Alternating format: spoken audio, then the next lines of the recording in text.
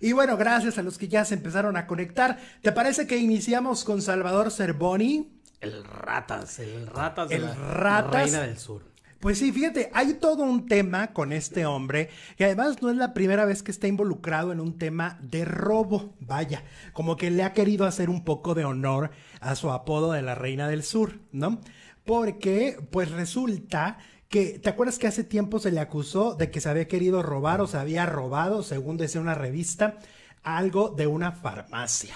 ¿Tú te acuerdas? Ah, cómo no. Ajá. Pues ahora lo están acusando de haberse robado, según dicen, em, carne, ¿no? Y sí es, según lo que narran, podría sí ser un robo porque hubo un acuerdo, ¿no? Mira, hay una mujer en redes sociales que se llama, ahí te voy a decir exactamente el nombre, ella se llama Kenia Valdés y publicó eh, varios mensajes. Fue todo un hilo que construyó a través de la cuenta de Twitter y dijo, el 16 de junio el actor nos contactó a mi negocio eh, BM Meats. Nos dedicamos a la venta de cortes de carne americana de alta calidad. Salvador nos preguntó si nos interesaría hacer una colaboración en la que le mandábamos cortes y él nos promocionaba en sus redes. Y dice, como pueden ver, el actor ya eliminó sus mensajes de la conversación y postea algunas imágenes, por lo que en las fotos solo verán un monólogo. Nos pidió que le enviáramos cortes como ribeye, filete. Estos dos cortes son los más caros que hay. Filete no teníamos, así que le enviamos ribeye, eh, porthouse y tomahawk, dice aquí en la cuenta. Aquí pueden ver que se le envía la carne, proporcionó su dirección, su teléfono y, se, y según lo que dicen, pues se le, se le entregó en la caseta de su casa, ¿no? Después dice, ya no hubo nada, no nos volvió a contestar durante meses. Eh, eh, meses después el hombre, pues realmente ya no, ya no se comunicó. Ahí va a haber un intercambio, ¿no? Clásico que a través de las, ¿cómo se llama? De las redes sociales postean, ¿no? Ellos postean los, lo, lo, lo- el, el anuncio, ¿no? Así de que esta carne es la más deliciosa del planeta, del mundo mundial, cómprenla, que no sé qué. Y de repente resulta que, pues, eso es un, es un intercambio, ¿no? Es una publicidad para la compañía. Es que es muy usual en las redes, ¿no? Lo que Muy. hacen este eh, muchísimos y muchísimas cuando los vemos que amanecí con caspa y estoy usando este champú para que me la quite.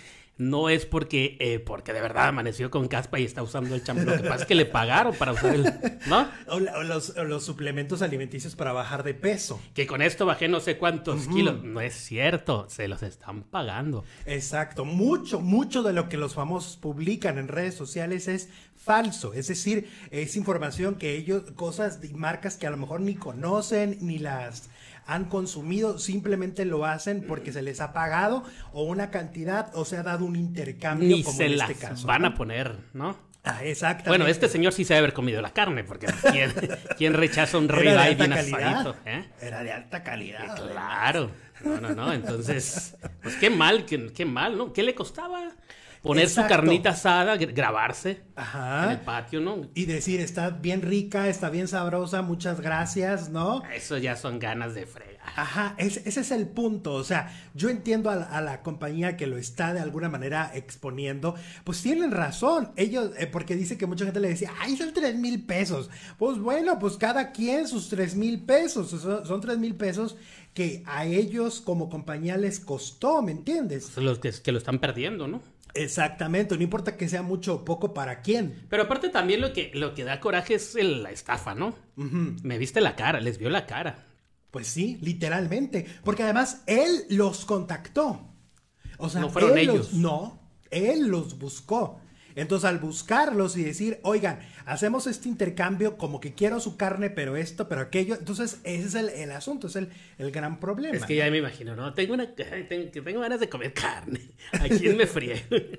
y aparte que me salga gratis, porque aparte, si hay algo que a los famosos les encanta, Es que les de todo. es les no este, pagar nada. Exactamente. Es ese, no es un nada. ese es un mal de los famosos. Sí. Ese es un mal que tienen los famosos que creen que todo lo merecen y que les pueden dar absolutamente todo. Entonces, yo sí creo que en esta ocasión, pues bueno, Salvador Cervoni debería de responder, o sea, debería de responder correctamente y, y ya, si no quisiste el intercambio, págalo. O sea, para él tres mil pesos realmente no representa tanto. O sea, ya también como dices tú, son ganas de, de, de, de hacer De cosas jorobar. malas. Pues sí, son cosas malas, ¿no? Entonces, cuidado con eso, cuidado con los famosos, cuidado con los tratos que se hacen en redes sociales, porque muchas de las veces puede haber estos, ¿cómo se dice? Pues sí, estos engaños, ¿no?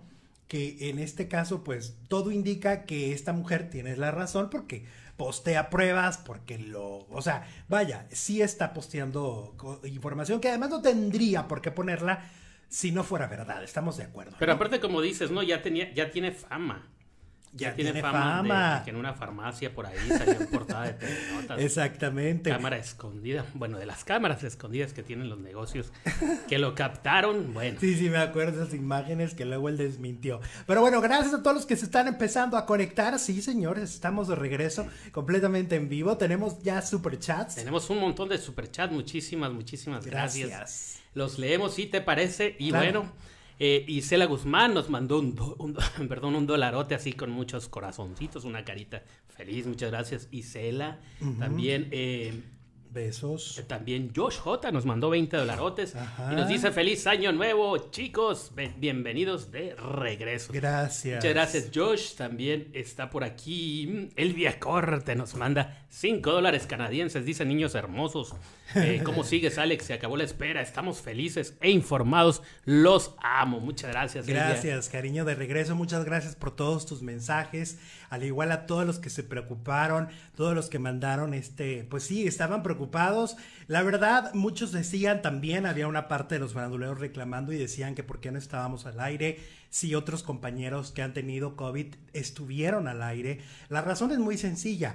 Cada quien, o sea, cada quien decide cómo recuperarse. No hay una regla, ¿no? No ¿Y hay cómo una se re- siente? ¿no? ¿Cómo- Exactamente, o sea, cada quien eh, desde, desde su óptica, desde su sentir, desde su cuerpo, desde su salud, toma la decisión. Si otros compañeros han estado al aire eh, y no han parado, es asunto de ellos, no es asunto mío. Entonces, de alguna manera, como que sí había mucho esta controversia de por qué habíamos parado si los demás no paran.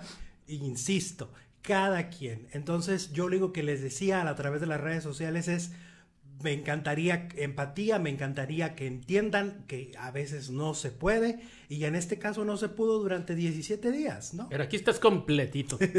Medio. Medio, ¿no? Ya estás bien, ¿no?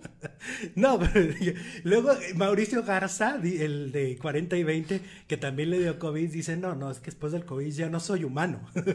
¿A poco? Bueno, seguimos saludando a nuestros eh, faranduleros. Alejandra Leite nos mandó 100, 100 pesotes. Ea. Dice, hola chicos, qué bueno que eh, ya estás bien, Alexito. Celex extrañaba mucho, ahora yo soy la que anda con ese bicho, pero también ya vamos saliendo. Los quiero mucho, cuídense y muchas. Cuídate muchísimo, cuídate muchísimo, haz caso a, a las indicaciones médicas, reposa lo que tengas que reposar, este, las incapacidades se están dando en los trabajos, este, entonces, pues bueno, te mandamos un abrazo. Y por último, Norma Andrea nos manda 40 pesotes mexicanos. Hola, Norma. Hola, Norma.